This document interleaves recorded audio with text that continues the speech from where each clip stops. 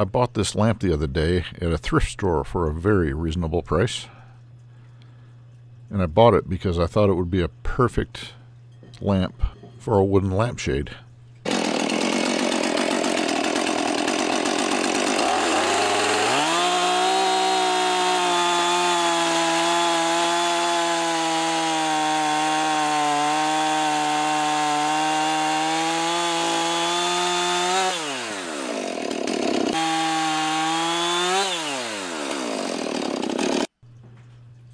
So I went out to that same big pile of wood that I showed you in the last video.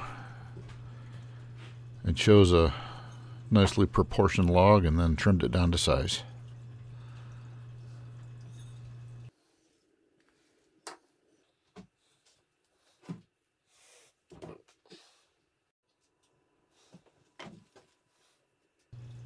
And the next step is to find center on one of the ends and attach a faceplate.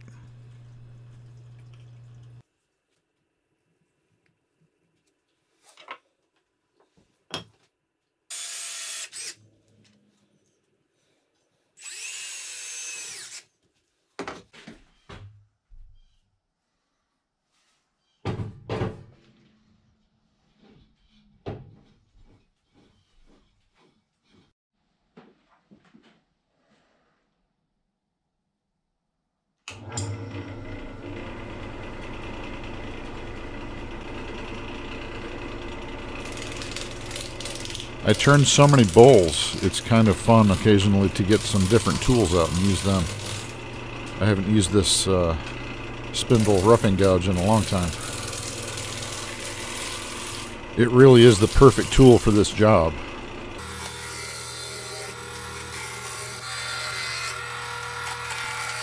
Just peels off that wood in ribbons.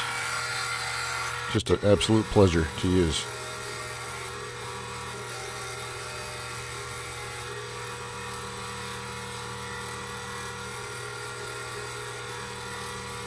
Almost like ticker tape. I got this down to round pretty quickly, as you can see here. But I still had some more reducing to do just to get rid of the bark.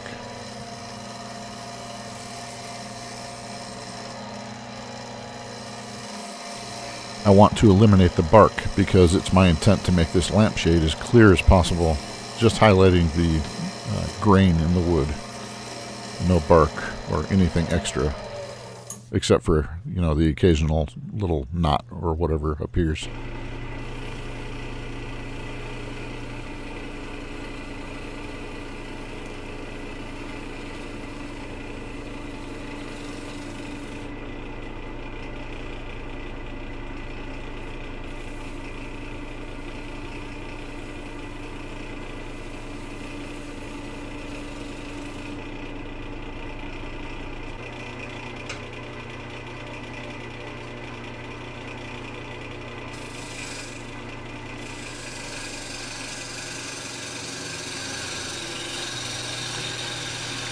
And here I'm just making the base of the lampshade uh, as flat as possible.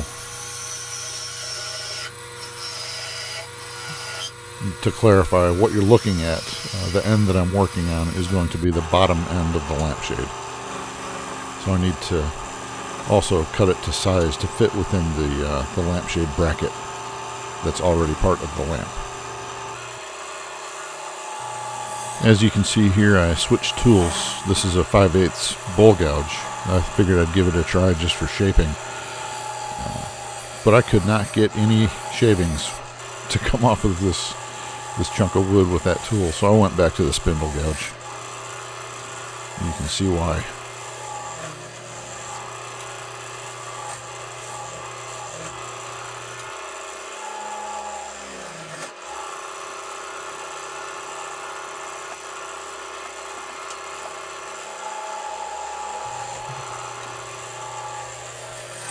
Alright, let's take a look at what some subscribers have made. Brianna Fogg made these. Can you believe she's only got five months experience? These are absolutely gorgeous. Great job, Brianna. So nice. Joshua Collins made this. This is a gorgeous bowl. Figured maple and purple heart. Nice work, Joshua. Four legged, furry friends. Some of the best we'll ever have. I'm sorry for your loss, Mark. That's a beautiful urn. As always, I want to take the time to give a special shout out to my subscribers. Thank you for supporting my channel just by that simple click of a button. Makes a world of difference, and I appreciate your support. Stick around until after the Semper Fi on this video.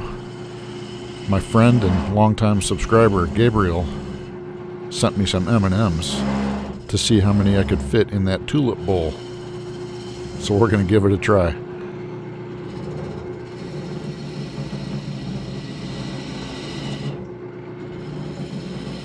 Uh, the tailstock isn't up and supporting right now because it's already a very narrow, tight spot and, and it just would have been in the way. But since this piece is mounted onto the lathe with a faceplate using eight screws, I'm feeling very confident that this this piece isn't going to fly off the lathe if I get a bad check or something like that.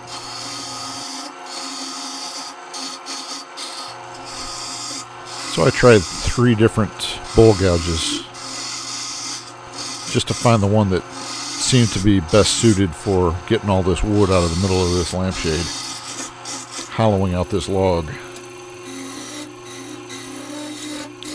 and it seemed like the 45 degree and 40 degree bevel were best suited for the shear scraping that I ended up doing. Instead of working down the end grain from the outside in, it was easier to work the side grain from the inside out, if that makes sense.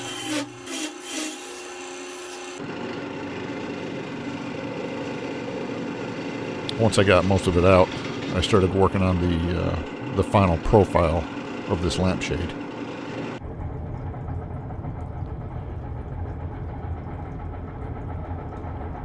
Beautiful shavings.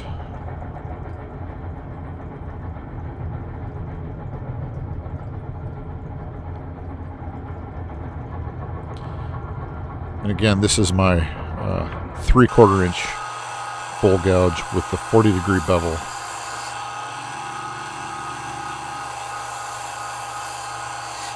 It worked out nicely for me.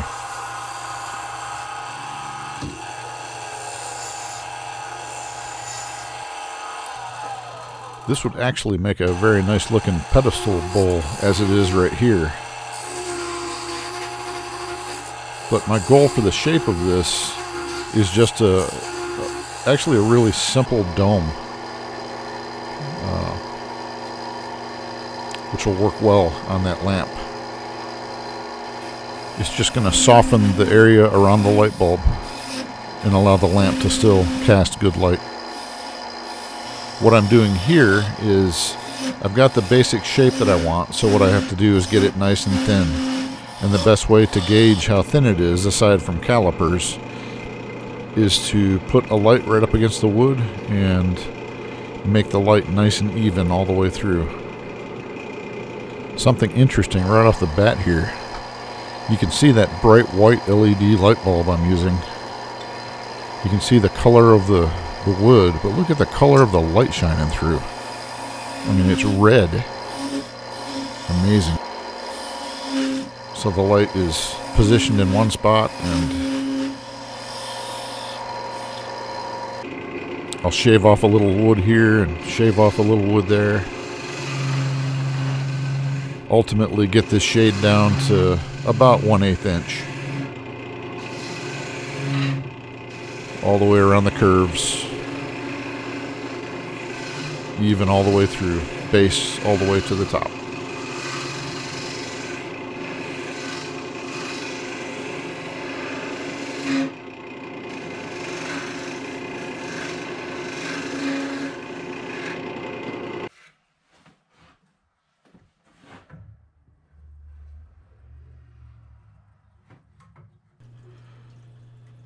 Now the light helps me make things even, but the calipers assure me that I'm not going too thin.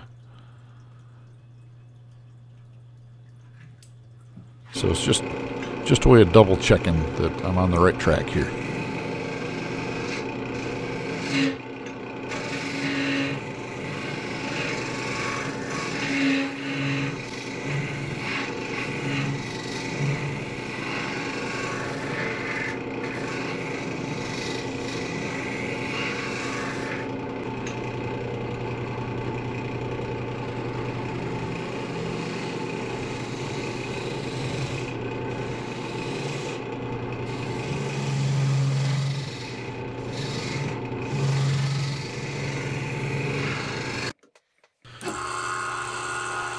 Now here I know I still have to shave some wood off of the top of this dome and it's much easier and more controlled doing so from the outside with a better tool rest, better angles.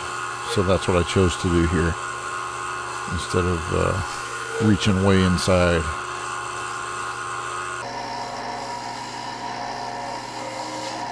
There you go. You can see how that light's shining through a little bit better each pass.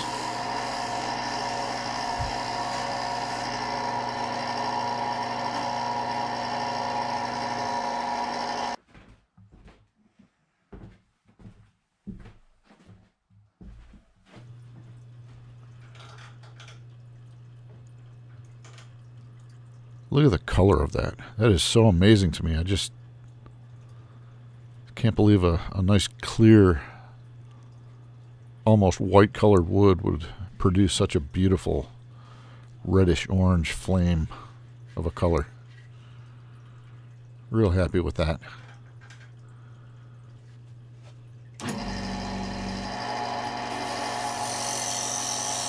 Getting her nice and thin.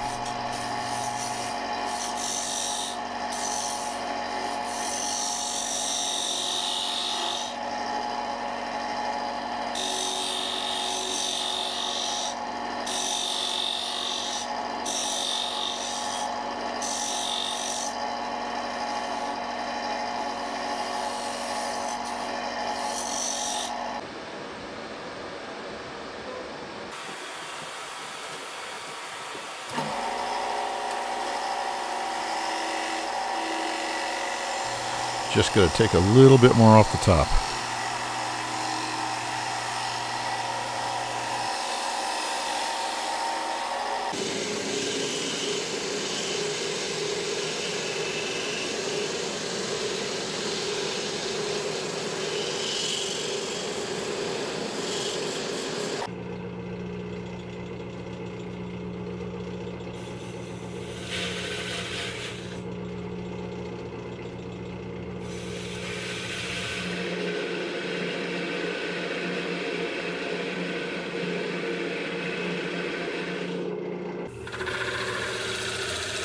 Parting this off is a little scary. You see me jump there, but it worked okay. Worked out real nice. Off camera, I sanded the top of that dome down to 500 grit, just like the sides.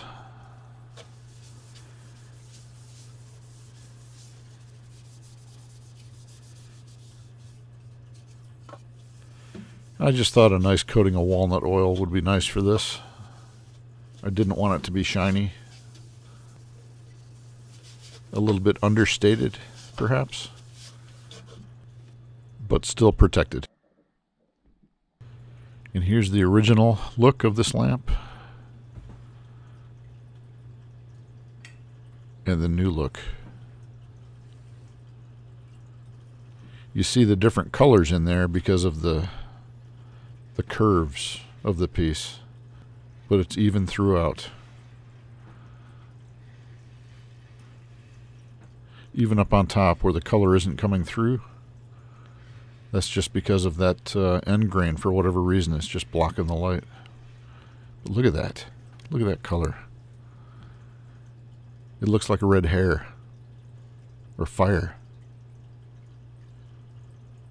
So pretty. Let me know what you think.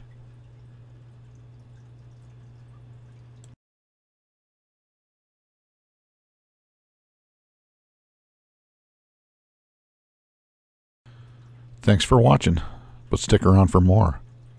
Semper Fi. Gabriel thought this was a four-bagger. M&M's, that is. We're getting ready to find out because I think he sent me some.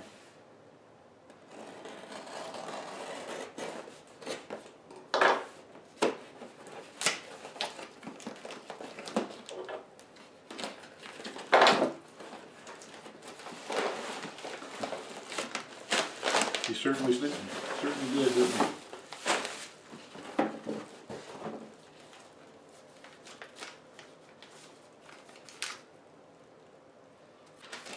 Thanks, Gabe.